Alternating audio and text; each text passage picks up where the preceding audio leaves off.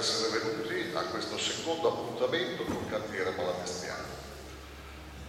Oggi c'è aria di casa perché si parla della biblioteca malatestiana e abbiamo due ospiti che sono di casa, direi quasi due colonne dell'aula del Nuti, sicuramente Paolo Errani, ma anche il romagnolo di importazione ormai acquisito come cittadino cesenate, insomma Palma dell'Università di Cassino. Eh, che dire su questo libro? Per dire una sciocchezza potrei dire che riprenderò le parole del Presidente del Comitato Scientifico, non potrei dire di meglio di quello che lui ha scritto nella prefazione di questo volume, e sono sempre io. Quindi dirò che eh, è un libro per me inaspettato perché ero abituato a vedere sia Paola che Marco Chili sui codici e è un libro da un certo punto di vista sorprendente ma altrettanto eh, suggestivo. Certamente è una collaborazione che si è formata sul lavoro sui codici, una collaborazione quindicenale eh, che è partita, eh, come dire, voglio fare anche un riferimento personale perché qui c'è il 75% di chi ha creato e mantenuto per almeno una decina d'anni il catalogo aperto dei manoscritti malatestiani, manca Paolo Zanfini, un'impresa che è riconosciuta in Europa che a Cesena, incredibilmente. Bene, proprio su, sul catalogo aperto dei manoscritti malatestiani ho iniziato una collaborazione che poi ha avuto altre eh, scansioni cronologiche, i primi manoscritti datati della provincia di Foricesena, il Sidoro Malatestiano, l'Evangelario Piana e finalmente i graffiti della Sala del Noti. E come dire, dalle mani dei copisti, eventualmente dei mediatori, ma loro sono più codicologi quindi direi le mani dei copisti, ci si è allargate alle molte mani che hanno invece lasciato testimonianza di sé sui gludi e sui muri della Malatestiana e nella prefazione evocavo questo enorme manoscritto composito che in qualche modo le varie mani vergate sul legno e sulla pietra vanno a comporre grazie al libro di Paola e di Mano. L'altro elemento che mi piaceva sottolineare è il fatto che la Malatestiana ci sono entrato più di due giorni fa insieme a Mauro Bonazzi che è stato l'ultimo nostro ospite quest'aula, quest'area come dire religiosa, direi quasi religiosa, monumentalizzata in qualche modo, che il giusto rigore conservativo offre appunto al visitatore. Questo libro in qualche modo consente di proiettare in questo silenzio delle figure umane e allora il paragone che mi era venuto era con eh, la, la, metafora che Mark Bloch fa del lavoro dello storico in cui dice appunto che lo storico è come l'orco delle fiabe che cerca l'odore di, car- di carne umana nei documenti. In questo caso possiamo cercare l'odore di carne umana nei pluti e nei muri della Malatestiana. Richiamo l'elemento umano perché credo che il maggior merito di questo libro sia quello di ricordarci che i libri, i codici, i manoscritti sono soprattutto anche una storia di uomini, per cui siamo pronti a farci guidare questo viaggio attraverso i graffiti della moda cristiana. Grazie.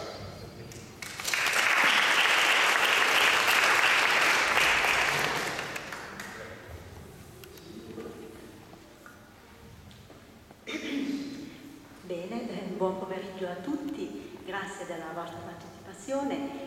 Allora, oggi parliamo dei graffiti della Malatestiana e cominciamo a chiederci perché abbiamo intrapreso questa ricerca dopo aver fatto eh, alcuni studi sui manoscritti della Malatestiana, ecco dedicarci a quello che invece che nei codici è scritto sulle pareti e sui banchi.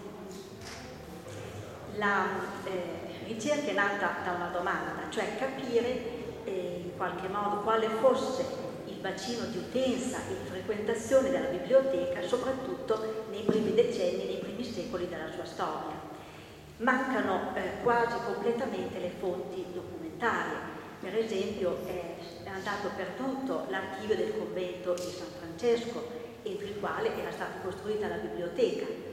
E ehm, anche i documenti conservati all'archivio comunale non danno informazioni in merito.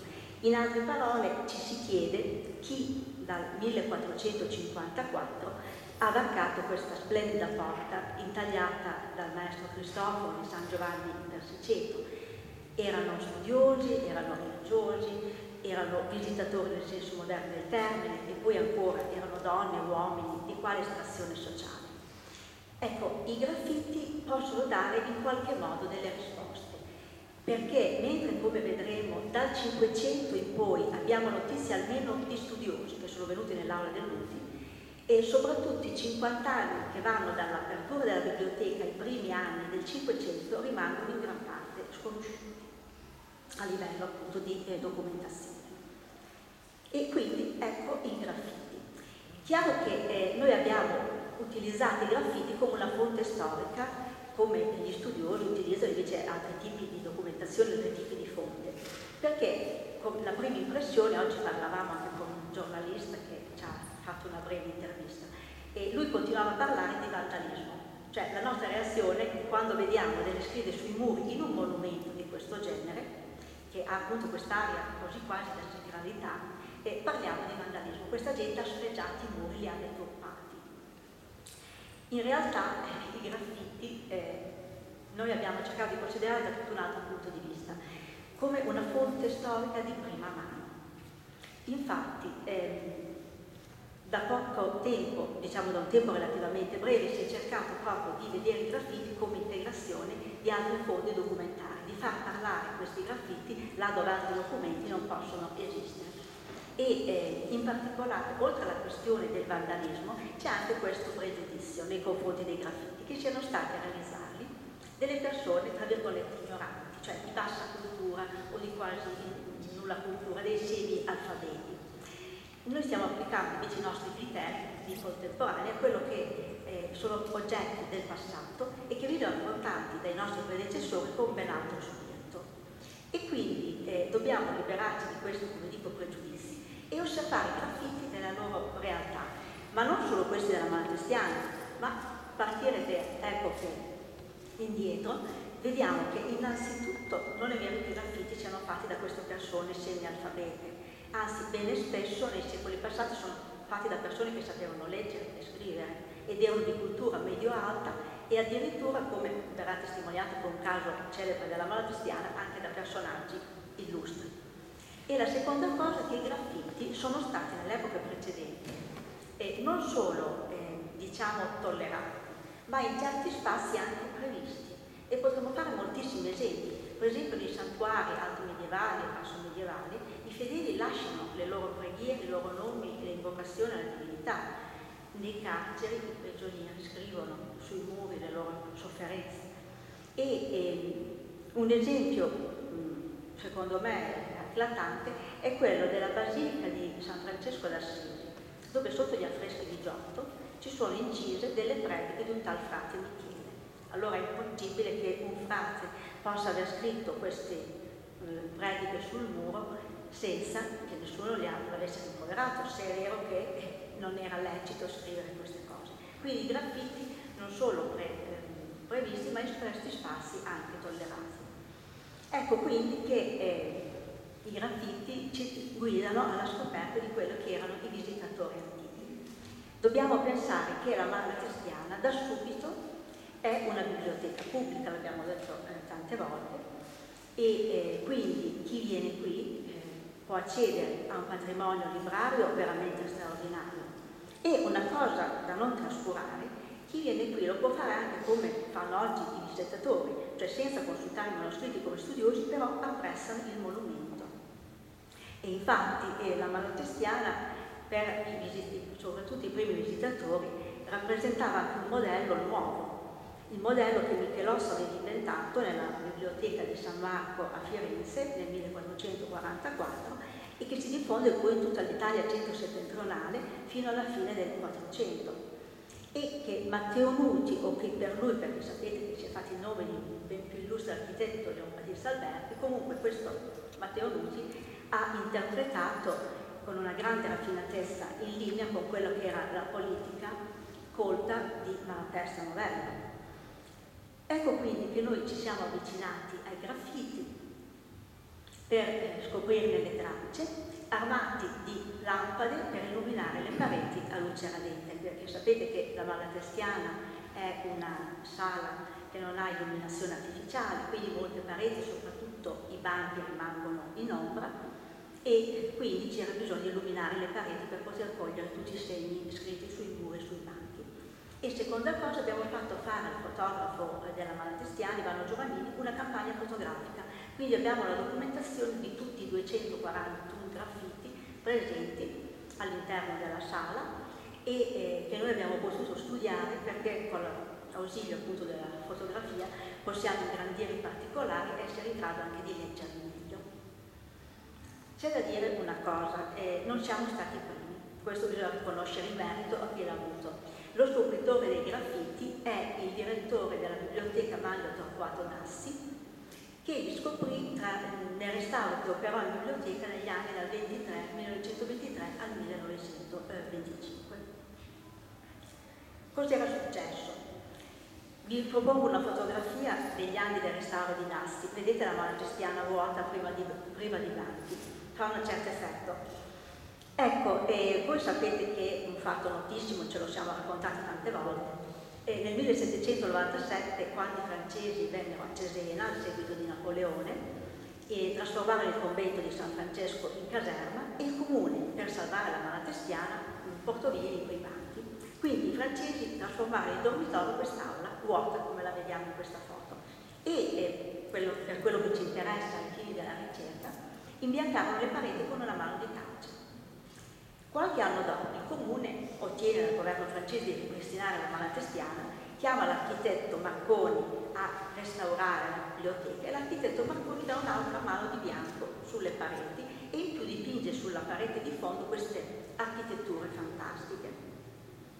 Bene, Maglio Dassi nel 1923 inizia un restauro filologico della Malatestiana e quindi toglie le due mani di calce settecentesche che erano state applicate e i graffiti che erano stati nascosti per un tot di decenni vengono alla luce insieme a questa tinta verde bellissima che è un po' il tratto no, distintivo, caratterizzante della nostra biblioteca. E quindi Tassi poi descrive nella sua relazione il lavoro che ha compiuto e dice che il restauro ha ridato persino i toni originali della magnifica sala, cioè quel verde di cui parlavamo, popolandola quasi su dai nomi graffiti dei suoi frequentatori del 4 e 500, da Malatesta Noveno, dalla monacale sua donna Violante alla sempre amorosa Lucrezia Borgia.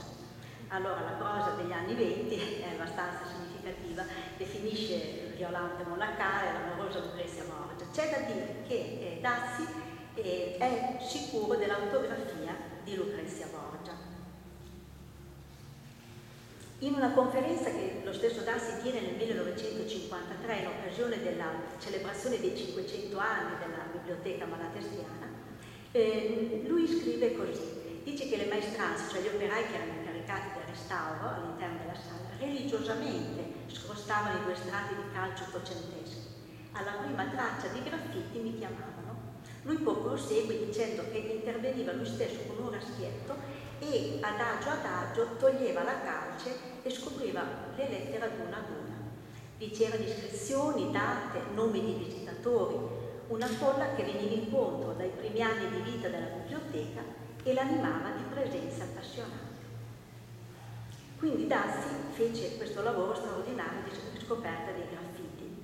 Purtroppo non poté intraprendere uno studio come forse avrebbe voluto perché si trasferì a Venezia alla biblioteca Guerri di Stampaglia e da allora effettivamente nessuno si è occupato più dei graffiti se non citando quello che Dassi per primo aveva messo in evidenza. Tra l'altro Dassi aveva anche fatto dei calcoli con le veline dei graffiti e li aveva collocati, lui scrive, dietro i cristalli a guida di curiosi e a suggerimento di divulgazione per studiosi. Quindi praticamente erano messi nell'atto della biblioteca e servivano sia i visitatori che erano curiosi di sapere cosa c'era scritto no? sui muri e sui banchi, sia anche a disposizione degli studiosi che volevano magari approfondire questi eh, graffiti, questi nomi. Ecco, noi le abbiamo utilizzate durante il nostro studio dei graffiti e purtroppo abbiamo notato che in poco meno di 100 anni sono scomparse delle lettere che Dassi invece aveva letto e riprodotto sui canti e addirittura intere parole. Quindi i graffiti pongono anche adesso un problema di conservazione che vedremo di affrontare. Ecco, il professor Parma poi vi descriverà i graffiti un po', in particolare, mettendo in evidenza quelli più significativi, quelli più tra virgolette importanti. Ecco, io vi faccio invece un breve excursus delle fonti che avevamo noi a disposizione, delle fonti documentarie, per ricostruire appunto la frequentazione della biblioteca, da una parte gli studiosi, dall'altra i visitatori, che sono comunque le due categorie che fin dall'inizio vediamo presenti all'interno della nostra. Per il 400, la seconda metà del 400 intendo, le fonti sono scarsissime e, e, e sostanzialmente possiamo ridurle a due. Uno è un visitatore, Francesco Giordano, che ha sposato una cesenate e viene a visitare la Malatestiana e la Basilica del Monte. Della Malatestiana eh, scrive questa descrizione, se la leggiamo, sembra che l'abbia scritta oggi stesso, perché la Malatestiana ci testimonia con questa descrizione che non è cambiata affatto in tutti questi secoli. È venuto il giorno 25 di luglio del 1485 Vedete che oltre alla descrizione fa il disegno dell'asta di ferro a cui sono infilate le catenelle che legano i codici poi al gluteo.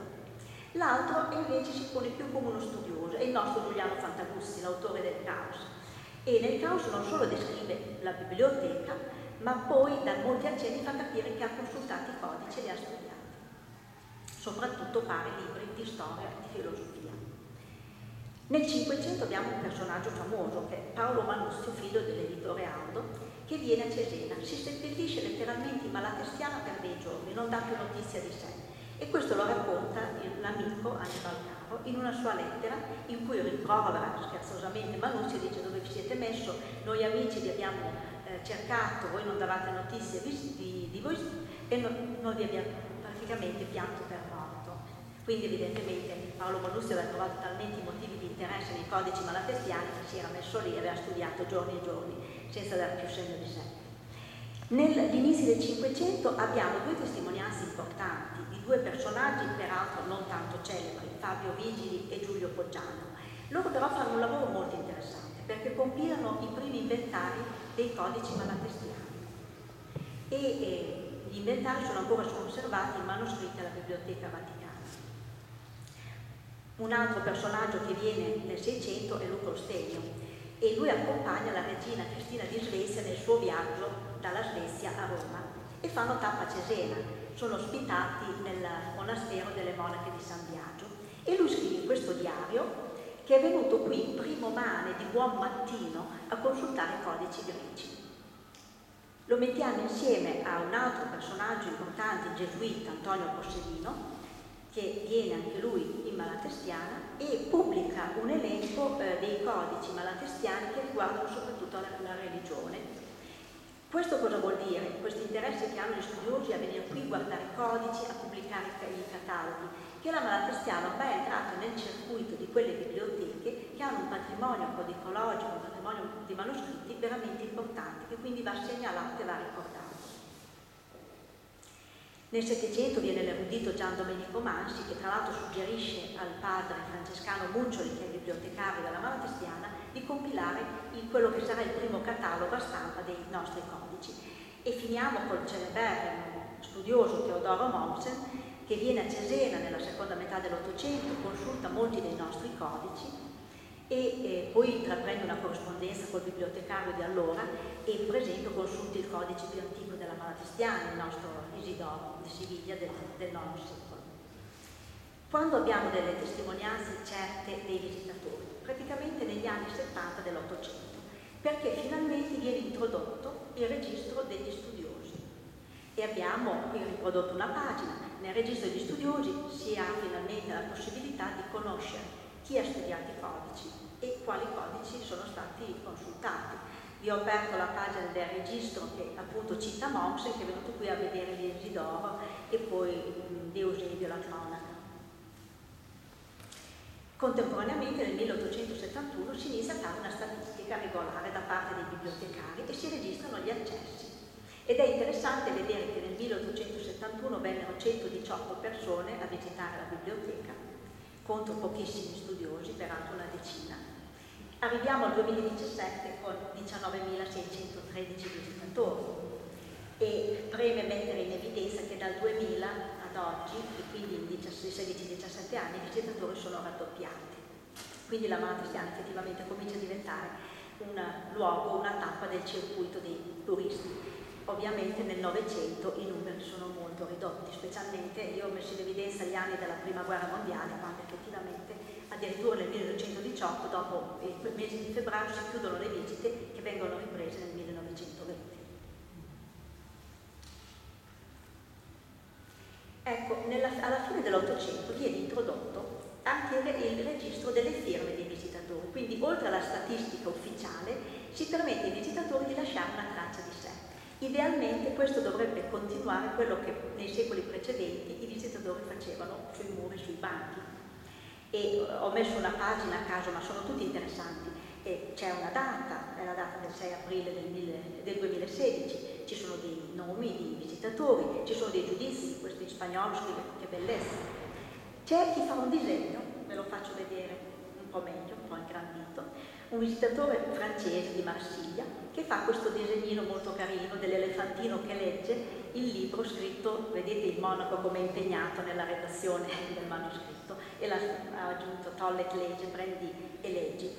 Ecco, è, è simpatico paragonare lo spirito no, di entusiasmo che accomuna i visitatori antichi e moderni, quindi abbiamo da una parte eh, gli antichi che fanno disegni e firme sul muro e dall'altra parte i visitatori di oggi che fanno disegni e firme su questo registro, anche se come vedremo nel nostro secolo poi non mancano persone che hanno scritto, eh, nonostante il registro, anche sui muri e sui banchi. Quindi concludo questo discorso, che spero abbiate seguito il filo nonostante sia stato un po' vario e sconclusionato. Il filo era dato comunque dalla presenza delle persone in malatestiana, siano essi visitatori o studiosi.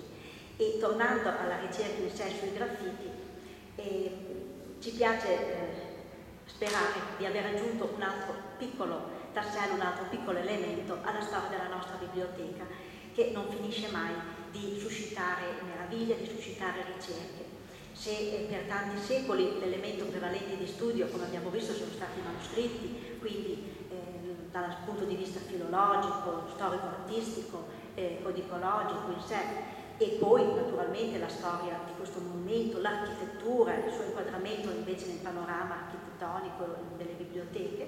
Ecco, noi abbiamo puntato invece l'attenzione più che altro su quelli che nei secoli l'hanno frequentata, sperando appunto di aver raggiunto questo elemento in più. Grazie.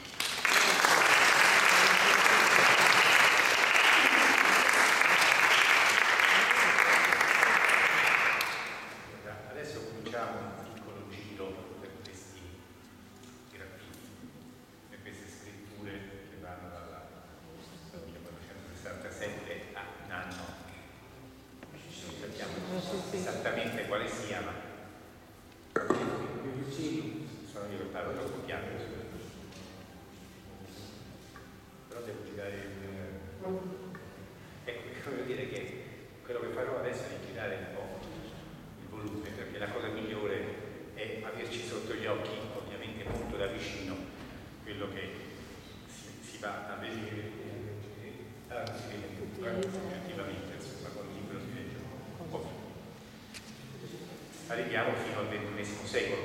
Eh? Poi alla fine si dice, si dirò, insomma, che, che cosa è databile al XXI secolo. I primi 30, 30 anni, gli ultimi 30 anni del, del 400 e qualcosina del 500, 1501, nella figura 3 per chi c'è.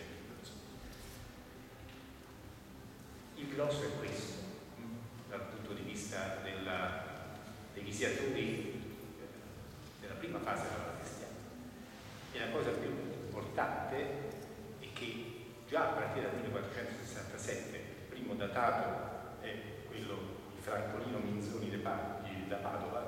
Egidio 1467, nella figura 4. Non è questo, no? Sì. Eh, evidentemente 13 anni dopo l'inaugurazione della biblioteca, venire qui e scriverci dentro è una cosa che era ritenuta buona e giusta, vale a dire qualcuno ci teneva a venire a Cesena, venendo a Cesena venire in Malatestiana e a lasciare il proprio nome, magari anche la data della sua visita. Era già un monumento a 13 anni dall'inaugurazione. Allora, questi primi nomi che vedete, vedete eh, Francolino Minzoni da Padova, Francesco Fassioli da Ancona, sono degli illustri sconosciuti, non sappiamo chi sia. Sono venuti tutti e due nel 1467 e hanno scritto sul banco, eh, non ci sono solo cubi, ci sono anche banchi. Sui banchi si scrive, si scrive un sacco tra l'altro, eh? Avete la pazienza di scorrere i 241 graffiti che abbiamo individuato, ne troverete molti sui banchi anche parecchio curiosi. Eh, questo è il banco destro, eh, l'ultimo, 29, scusate, 29, l'ultimo banco in fondo. Sulla parete che guarda il muro del banco, eh, hanno tutti e due scritto questa, questa eh, il loro nome, la data e da dove venivano. Perché l'hanno fatto? Evidentemente valeva la pena. Era importante dire io ci sono stato. Questa è la psicologia del, del, del graffitato, diciamo, di quello che lascia scritto qualcosa. E, e naturalmente dipende dai tempi, dai personaggi, quello che volete, insomma, però vuole fermare il tempo qualche maniera, no? vuol dire io, eh, sono io quello che in questa data sono stato qui. Evidentemente vale la pena scrivere e lasciare un ricordo di sé. In effetti, in qualche modo questi sono passati alla storia, sono degli illustri sconosciuti, ma significano qualcosa per comprendere che, che cosa passava per la testa al visitatore della Malatestiana all'inizio, a 13 anni dalla, dalla inaugurazione. Se andiamo po' avanti, figura 7, 8, c'è 1471, Gabriele Zanna, sì, 1471.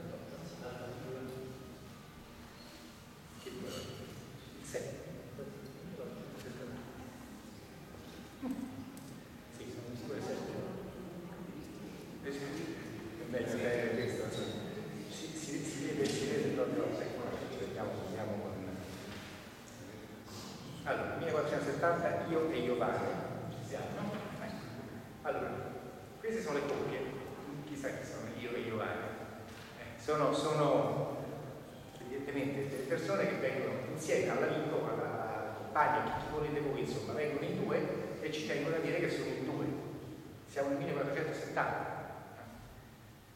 C'è anche la data in pasta nel 1471, perché questo non è l'unico caso eh, di, di, eh, di date semplici. Lasciare detto in qualche modo siamo in questo momento, siamo in questo anno e io sono qua, anche se non vinto il mio nome in questo caso.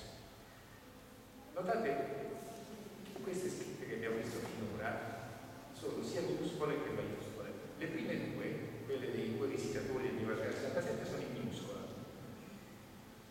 Queste altre sono l'enorme maggioranza, sono in minuscola.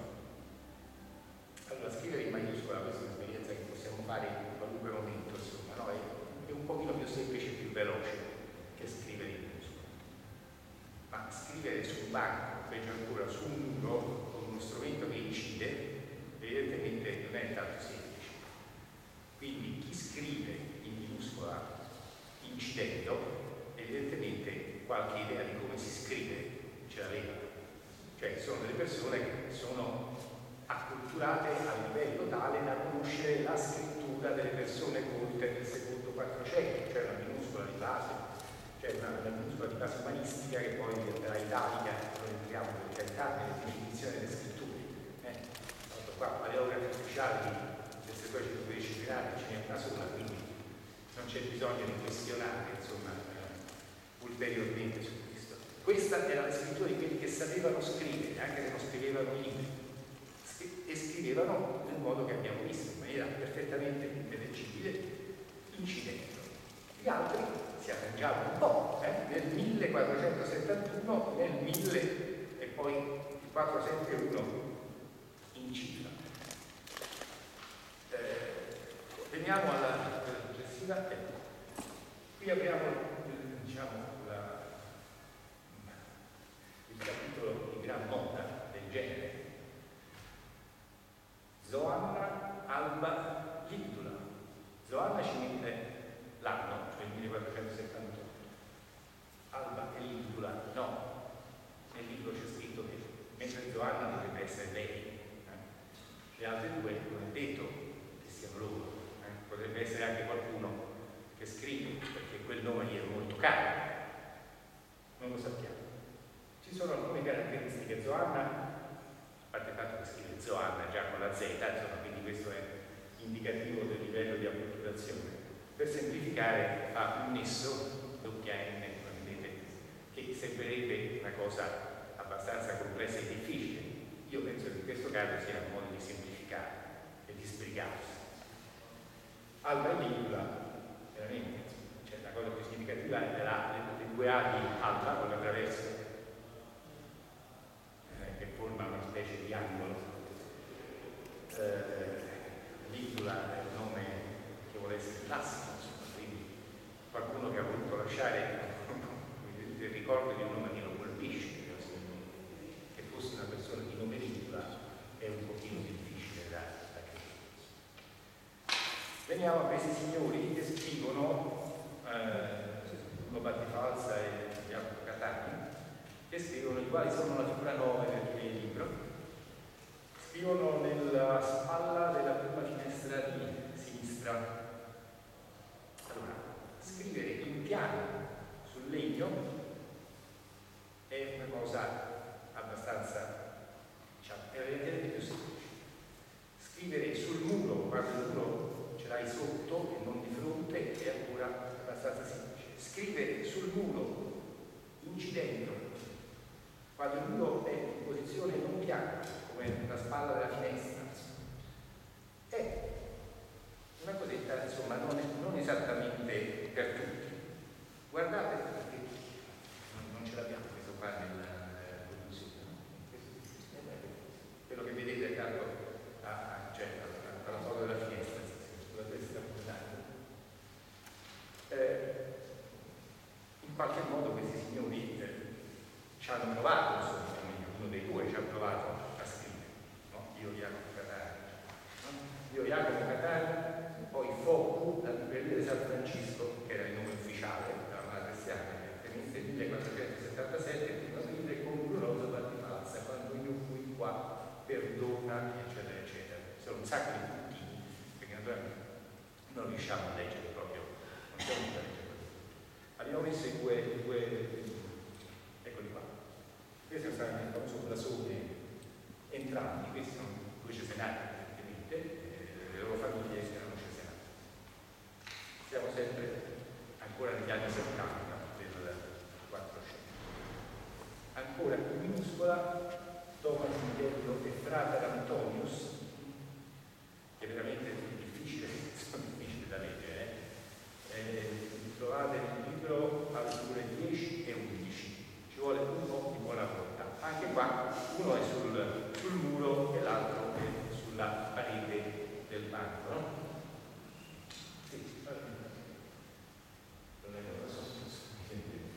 abbiamo cercato di rendere visibili perlomeno i testi. Eh, io vorrei che con un'altra piccola parentesi perché vi rendiate conto di che cosa significa scoprirli questi graffiti. Eh, letteralmente bisogna andare toccando il muro come, come c'è, insomma, per trovare dove è inciso il legno illuminarlo e la malaziana praticamente d'inverno non è molto luminosa, specialmente se il tempo non è troppo bellissimo, eh? o comunque a certe ore del giorno del pomeriggio, riuscire a vedere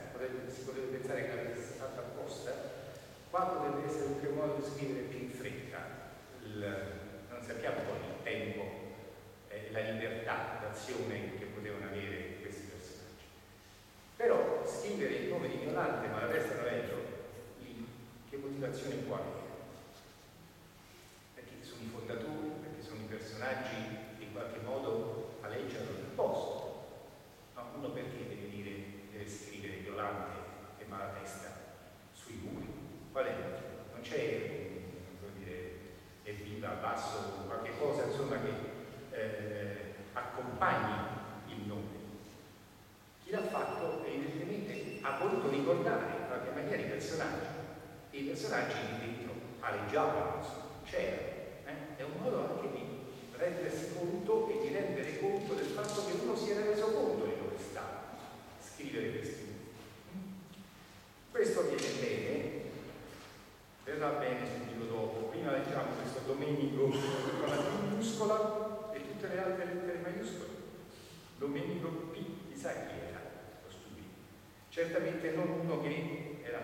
abituato a scrivere, eh? anche il fatto di cominciare con la minuscola, poi proseguire con la maiuscola, o il modo in cui traccia anche la G maiuscola di Domenico. Ancora. Questa è un'altra cosa.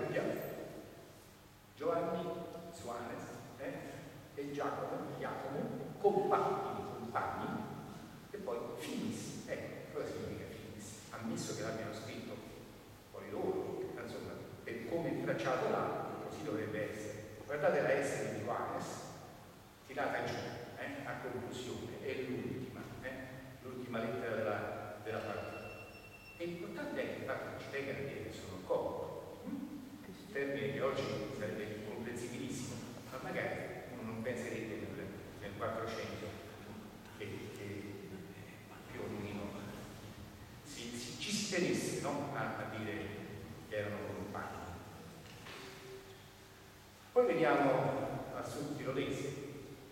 Questo signore che sa scrivere, eh? sa scrivere, si chiama Johannes Joner Almanus dei Dobico, che dovrebbe essere Tobra, cioè lo bianco, ci deve dire che è tedesco.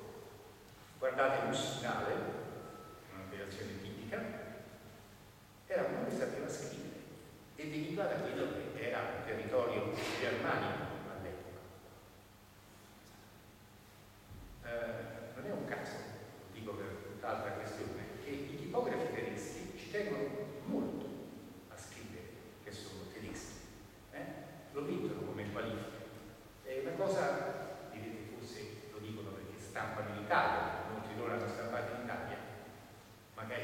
Non ci derivano allo stesso modo. Però questa qualifica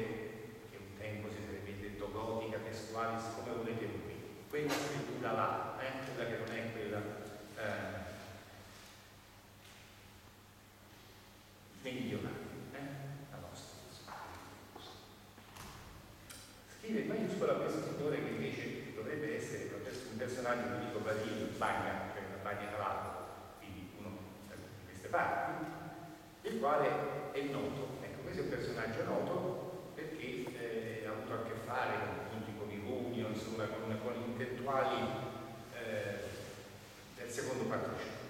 Cioè, ecco qua un nome di persona che verosimilmente ha scritto lui eh, e che eh,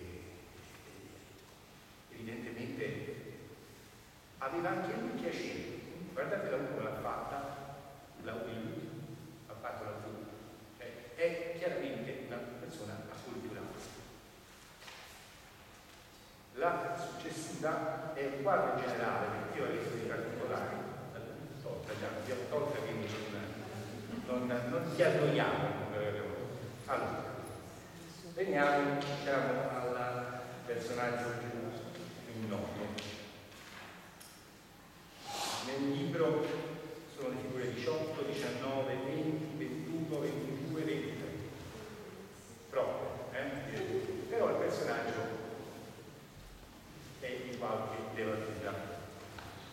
Allora, ci sono 14 Lucrezia, in alcuni casi non scritti l'intero, ma ce ne sono 14 sui muri della malatesta.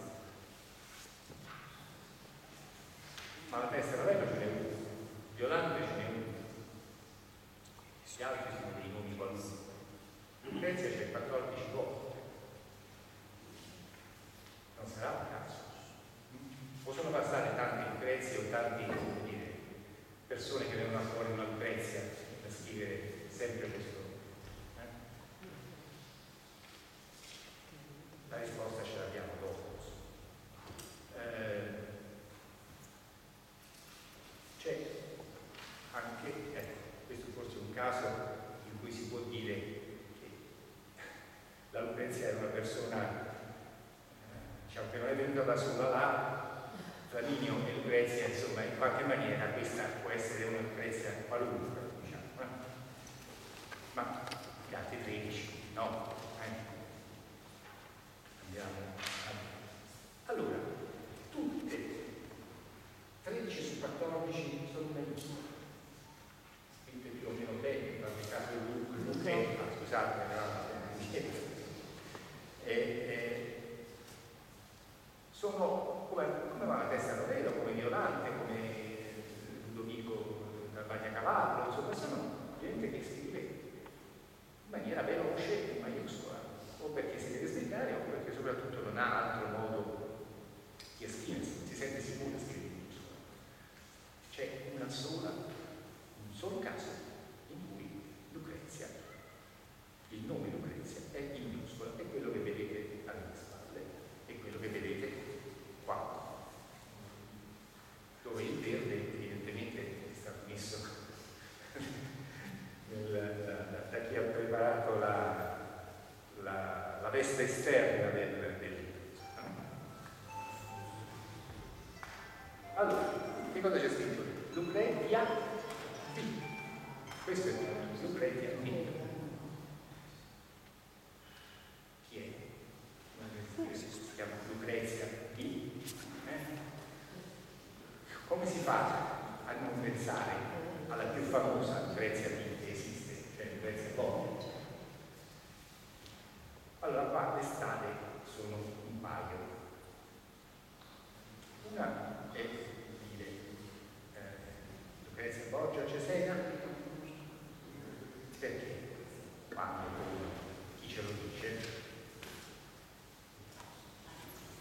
Allora ce lo dice il caos ad esempio il famoso caos del Fantaguzzi il cronista locale che come leggete lì dice et a 8 di gennaio 1502 se partì da Roma Madama Lucrezia con mille cavalli per andare a Ferrara a marito, cioè Alfonso d'Este, figlio di Ercole d'Este. A dire 24 giunse a Cesena portata da due cavalli grossi in un'arca lettica ed a 25 se partì da Cesena ed a cavallo andò a Forlì. Allora, questo episodio è notissimo. Anzitutto il viaggio, da, dall'8 gennaio alla, alla fine mese e anche l'inizio di febbraio, adesso mi ricordo esattamente il giorno dell'arrivo a Ferrara, quello che è successo praticamente lo conosciamo giorno per giorno. Ci sono cronache di ogni tipo, adesso poi ne vedremo quelle più specifiche e più indicative. Eh, Lucrezia, aveva, Lucrezia Borgia nel 1502 doveva compiere ancora 22 anni, era nata nel 1480. Aveva già due mariti alle spalle, figli e una vita non esattamente semplice. Il padre, che la usava per, cioè Alessandro VI, che la usava per la sua politica italiana, ma non soltanto, aveva deciso di avere un buon appoggio a Ferrara e quindi cercare di convincere Concedere la mano del figlio. La cosa prese numerosi mesi di trattative e soprattutto costò un'ira di Dio di soldi al Papa, fino a quando gli ambasciatori estensi a Roma non ebbero finito di contare materialmente i soldi della dote,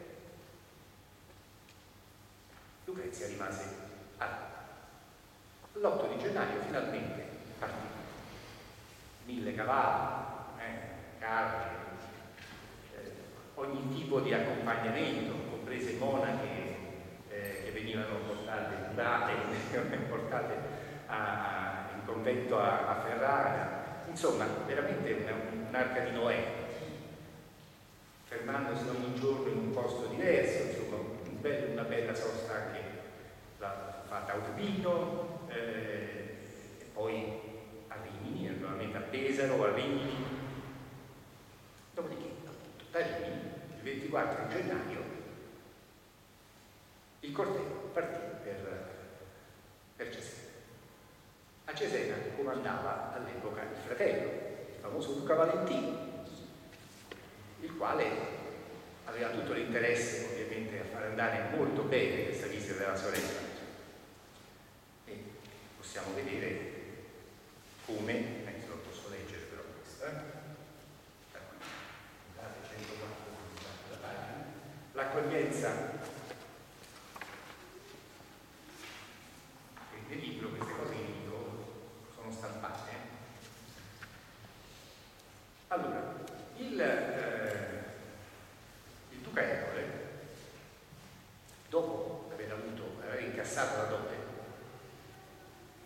voleva anche essere sicuro che non succedessero cose strane durante questo viaggio e quindi aveva incaricato due suoi messi chiamavano Giovanni Luca Castellini o Puzzi, i due cognomi, detto Contremoli, terzo cognome, e Gerardo Saraceni, di seguire passo passo e di informarlo quotidianamente di quello che succede. Allora, questi due signori scrivono al Duca di Ferrara, evidentemente la sera del 24 gennaio 1502. Vi leggo qualche riga perché avete l'idea dell'accoglienza che ha avuto qui Lucrezia. Illustrissimo ed eccellentissimo signor nostro osservantissimo, oggi partissimo da Arimino e siamo giunti qui sani e salvi e di buona voglia dove è stata incontrata la illustrissima Madama Lucrezia, ultra lo ordinario, dei cittadini da cento punti, tutti vestiti di nuovo, a spese dell'illustrissimo signor Duca de Romagna, cioè il Valentino, cioè il fratello di Lucrezia. De panno bianco e tremorello a quartieri con le olive in mano, i quali la accompagnò insino in rocca, cioè in piazza, dove è alloggiata, gridando Duca, Duca, Lucrezia, Lucrezia. Qui siamo stati trattati abbondantemente di ogni cosa, come anche è stato fatto a Pesaro e ad Arini, e tutto a spesa del predetto signor Duca de Romagna, il quale per più sue lettere ha commesso al magnifico Messer Remiro, che era il suo governatore del, della città, che così faria e si stima che le altre sue terre si miglioreranno. E può bastare, chi vuole si può leggere anche il resto per capire insomma, il tipo di precisione assoluta con cui gli inviati messi, chiamateli come volete voi, del duca di Ferrara eh, scrivevano al loro signore. Quindi abbiamo il caos e abbiamo questa lettera che è conservata a, al, all'Archivio Cristense a. Non bastando questo, che dichiara quindi che il 24 gennaio 1502, la, nel pomeriggio perlomeno, insomma a un certo punto il tempo che ci voleva per venire da Rimini eh, è arrivata qua, Lucrezia, abbiamo un altro messaggio che quindi è riportato soltanto per quello che ci interessa, eh, sempre dei suddetti due, Castellini e Saraceni, scritto da Faenza il 26 gennaio, cioè due giorni dopo, eri, cioè ieri, da Cesena benissimo a Forlì. Oggi siamo venuti qui con pioggia. Allora, ieri, evidentemente se scrivono il 26 gennaio, era il 25. Oggi, cioè il 26, siamo venuti qui, cioè a Faenza. Ergo, a riprova del fatto che Lucrezia ha pernottato a Cesena la notte fra il 24 e il 25 gennaio 1502, abbiamo la testimonianza del, del cronista e abbiamo la testimonianza dei due, doppia tra l'altro, doppia, dei due messi del duca di Ferrara. Allora, una cosa quindi la possiamo dire tranquillamente, Lucrezia Borgia è stata a Cesena perlomeno la notte fra il 24 e il 25. Non sarà arrivata alle 10 di sera per partire alle 6 del mattino, insomma, magari sarà arrivata nel pomeriggio. Pensate quando ci si poteva mettere da Rimini eh? e quanto poi ci si poteva mettere per andare da, da qui a Forlì. Verosimilmente metà della giornata, una parte della giornata del 24, una parte della giornata del 25 avrà avuto, come si suol dire, tempo libero, oltre a dormire la notte, no? Cioè, non abbiamo assolutamente dubbi sul fatto che Lucrezia Borgia sia stata Cesena in quella notte. A questo possiamo aggiungere l'altro tipo di ragionamenti. Come è scritta questa Lucrezia vedete? Allora, è una minuscola, l'abbiamo detto, ed è una minuscola, la L maiuscola naturalmente, e, e tranne la, la, B di Borgia, che è minuscola, come sempre tutte le attestazioni, i cognomi di Lucrezia hanno la B minuscola. E lei ci teneva moltissimo. Mm? Lo vedremo anche adesso perché vedremo anche il cognome acquisito, eh? però il suo di cognome ci teneva sempre a. Era la figlia del padre, era una coppia, e questo doveva essere sempre scritto. Allora, analisi grafica, naturalmente l'analisi grafica deve tener conto che qua si scrive sul davanzale della finestra, sedicesima finestra di destra. Quello che facciamo vedere adesso, vi spiego che cosa è, nelle, nelle due altre eh, immagini, sono le sue firme con qualche altra parola su carta. Conseguenza dovete sempre pensare insomma, che per quanto fosse una che sapeva scrivere, che Lucrezia aveva studiato, è un personaggio che sapeva parlare, capiva benissimo il latino, scriveva benissimo, lo vedremo anche qua, oltre che in italiano anche in castigliano. Insomma, era un personaggio che il fatto suo dal punto di vista della culturazione generale e della capacità grafica lo sapeva. Queste due sono lettere che la nostra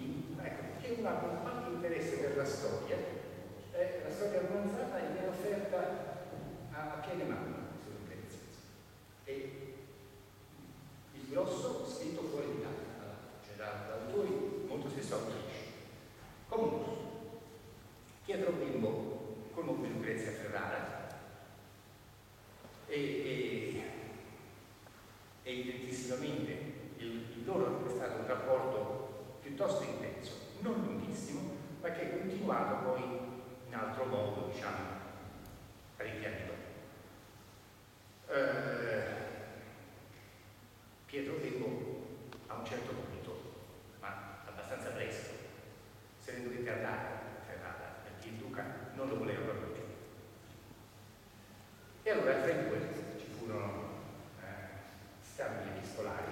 Questi scambi epistolari sembra sempre originale alla Brosiana, a Milano. Ah, sì, sì. Come dei presunti capelli, ciocca di capelli conservata eh, sotto dentro e che verosimilmente dovevano essere una di queste rette. Poi se siano i suoi non lo sappiamo, sappiamo che Byron riuscì a rubarne uno, per dire a che punto siamo, insomma, sia poco quanto a leggenda. Allora, che c'è scritto nel desiderosa gratificarvi? Desiderosa gratificarvi, Lucrezia, Estesis de Borgia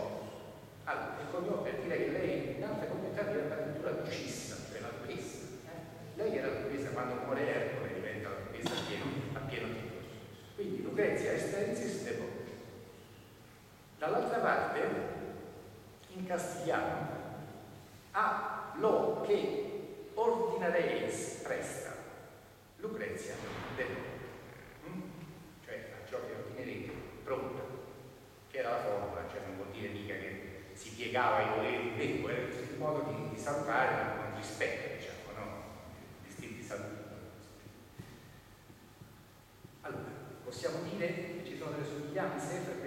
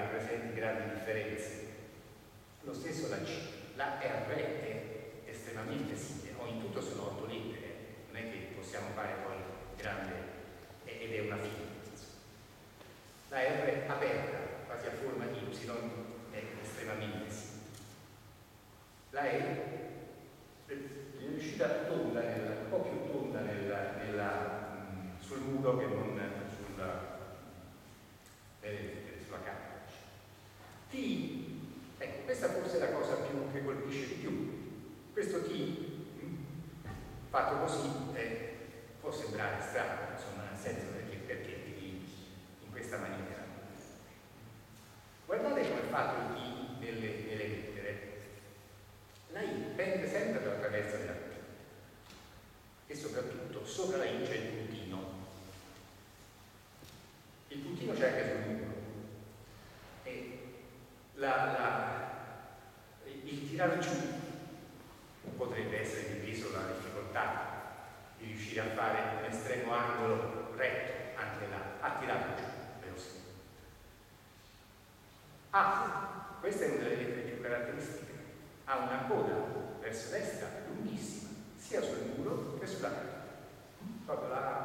ha una lunga vita.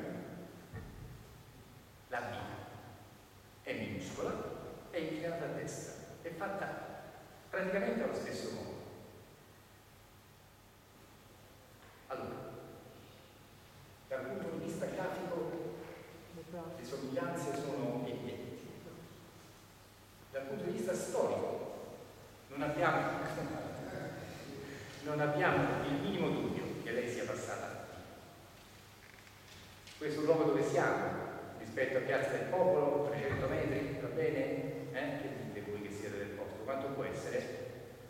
Fiorenza aveva 22 anni, magari coprendosi abbastanza bene, visto che era il 22, eh, 24, 25 di gennaio, forse poteva arrivare e tornarsene là. No? Una visita poteva benissimo rientrare nel panorama di un personaggio come lei.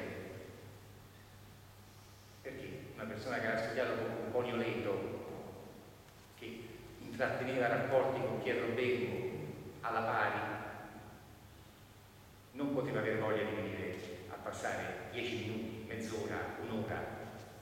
Malatestiano. Questo l'ha già detto Dazzi, non è che lo diciamo noi per primi. La cosa singolare è che dopo Dazzi non l'ha detto nessuno. E ci sono tonnellate di bibliografia sulla Malatestiana. Ma una cosa di questo genere, che forse qualche curiosità avrebbe potuto smuovere, non l'ha detta nessuno. Allora, che cosa dobbiamo concludere? Noi la facciamo, è vero che abbiamo messo, cioè ci mettiamo la faccia, insomma, ci abbiamo messo anche la copertina, eh, perché siamo convinti di che cosa? Che questa sia una tesi sostenibile.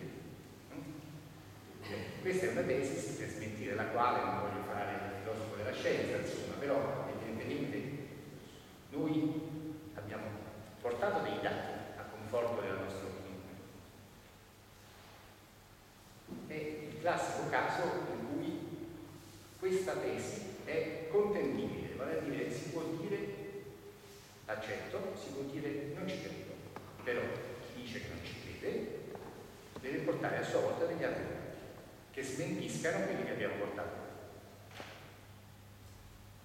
Dopodiché, cuoricini. Ah no, eh. allora veniamo al XX secolo, veniamo al XX Vedete lì Vivarizza? Ecco, questo è uno delle, delle, questa è chiaramente una scrittura recentesca, insomma, cioè, è, è, quello che potremmo scrivere anche sul muro Vivarizza, insomma, in quel modo. Ma perché scrivere Vivarizza che cioè, tra le due finestre di destra, non la prima e la seconda? Eh? Chi è che interessa scrivere Vivarizza? Un francese che passava di qua e ci teneva a dire che era francese.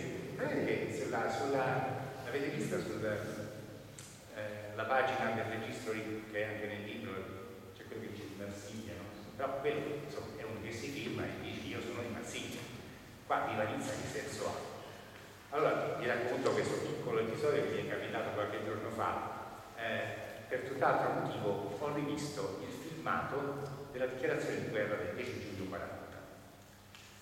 Eh, Istituto Luce queste cose le sapeva fare molto bene, quindi penso l'avete, l'avete vista anche voi, era una cosa famosissima, insomma, che è Luce che si affaccia e, e, e dichiara l'ora delle decisioni irrevocabili, sbloccate, eccetera, eccetera. La dichiarazione di guerra è stata già consegnata agli ambasciatori di Gran Bretagna in Francia. A un certo punto chi riprendeva va alla folla festante e mi chiamano tre cartelli Corsica, non viva Corsica, vogliamo la Corsica, Malta, Nizza.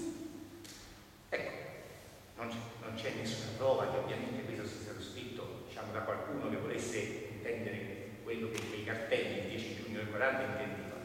Però, è una possibilità. Ecco, questa è molto diversa dalla storia di Venezia, eh? ve la riporto così come, come curiosità cuoricini sono là. Allora, prima dei cuoricini bisogna dire, perché siamo al XX secolo, noi siamo nel XXI e la monotestiana, come dice il titolo di questo libro, qualcosa da offrirci anche per il XXI secolo. La cosa più affascinante è il numero di cellulare su un banco. Questo è, è non c'è, hm? però lo trovate libro, c'è scritto 339, qualche cosa.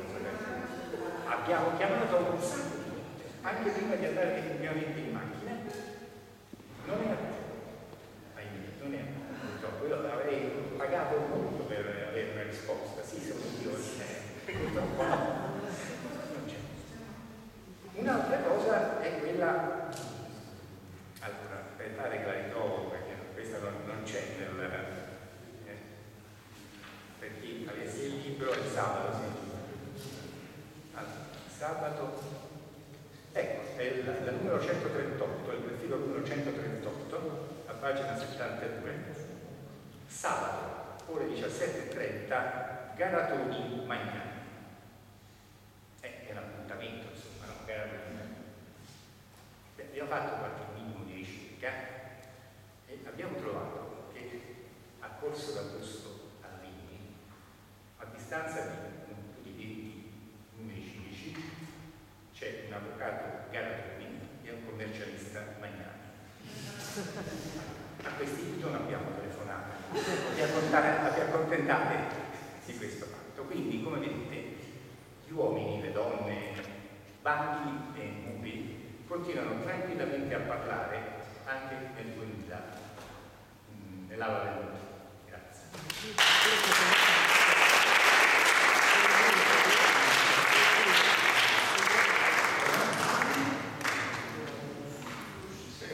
avete do autor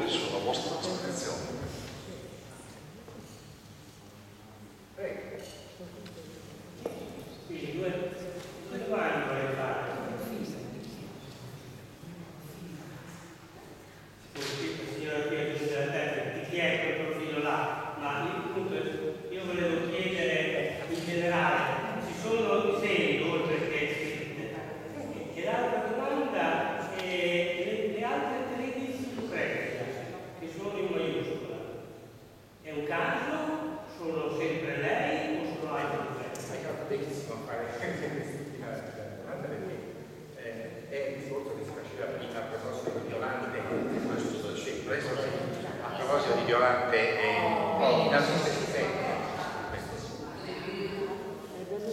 C'è la capa, eh. e, perché qualcuno ha scritto Violante e qualcuno ha scritto Monotesta no? Perché abbiamo detto prima aleggiava. noi riteniamo che anche Lucrezia aleggiasse, cioè che la leggenda di Lucrezia in qualche maniera all'epoca fosse molto viva era stata accolta in questo modo, 100 bambini che giravano eh, fiori, insomma, eh, era una cosa che aveva lasciato un segno in città. No? Si sapeva evidentemente che era venuta anche qua, se abbiamo ragione. Insomma. E quindi scrivere Lucrezia ha lo stesso senso che scrivere Violante. Era un modo di, di in modo di ricordare. Certo, Lucrezia e Flaminio magari avevano altre ragioni, insomma, eh, però gli altri gli altri potrebbero essere appunto una maniera, in qualche caso anche luc, lucr, non, non, è scritto per intero, però anche questo fatto di scrivere mezza parola eh, ha un senso, insomma, cioè voleva scrivere Lucrezio, però eh, c'è anche un Lucrezio, tra l'altro. Non so se abbiamo risposto. È lo stesso Tucci. Poi che cosa rappresenta lì? È eh, una canzone santacina verosimilmente antica questa non è una faccia del Novecento, insomma, c'è questa specie di cappa di testa, insomma, no? come una caloppina, sembra qualcosa che scende sulla destra e sulla sinistra. Insomma. Poi abbiamo fiori, palmetti, appunto, buoni, intrecciati, insomma, quello è un pure quello che è scritto di amo, insomma, cioè, proprio di tutto. È normale però, ecco, è, è bello della cosa, è normale, cioè sono delle cose che possiamo vedere dovunque, per la strada, Insomma e soprattutto nei pubblici bagni. Eh. Prego.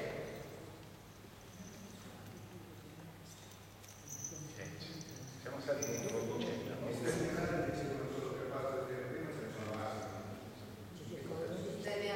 Ah, sì, sì, sì, c'era un certo numero di stelle, però il riconoscimento degli stelle non l'abbiamo fatto, anche perché non sono ovviamente precisi, magari c'è, c'è proprio il disegno principale, con eh, tutto quello che normalmente si trova, magari c'è insomma, l'animale, tanto per dire c'è un leone lì, e il leone non è stato fatto.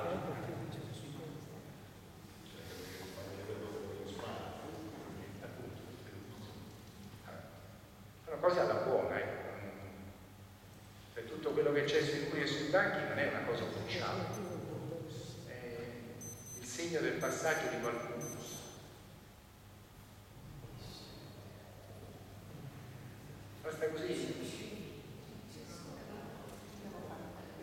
sea,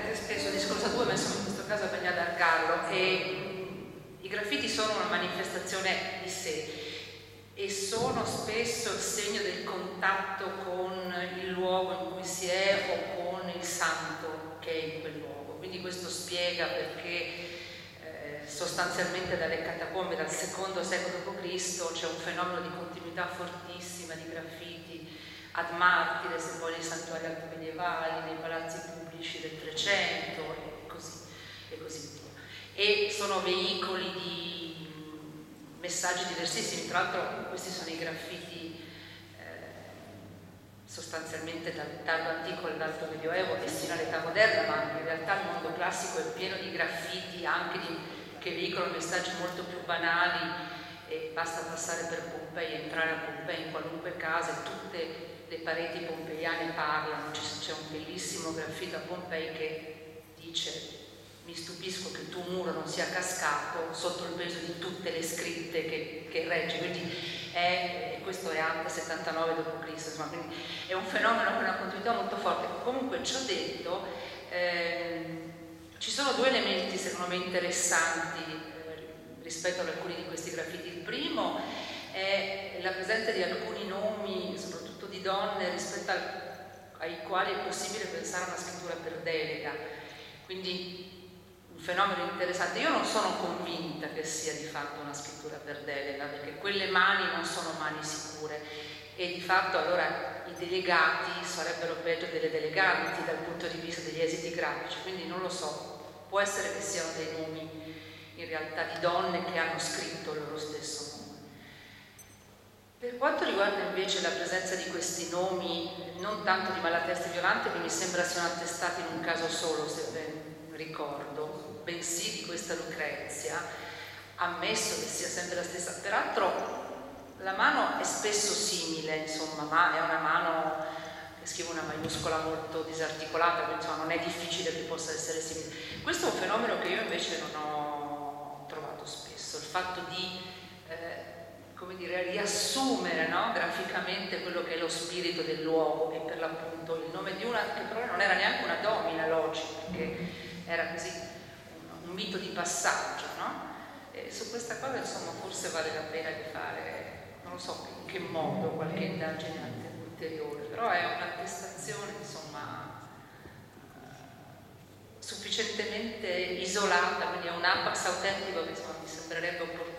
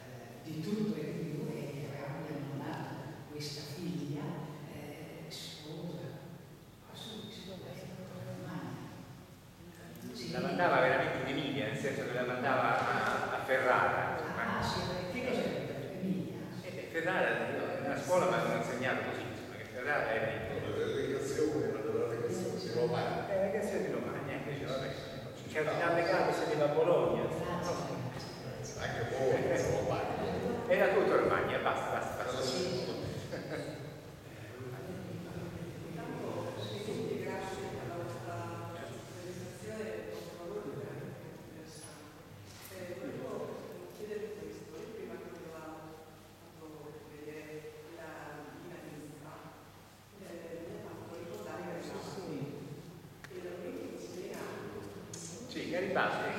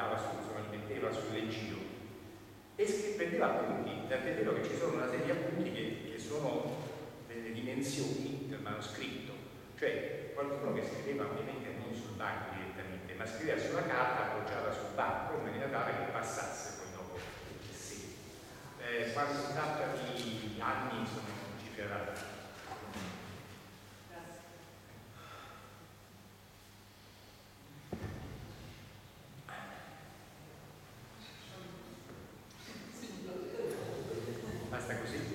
Sì. Nient'altro? Grazie. Grazie.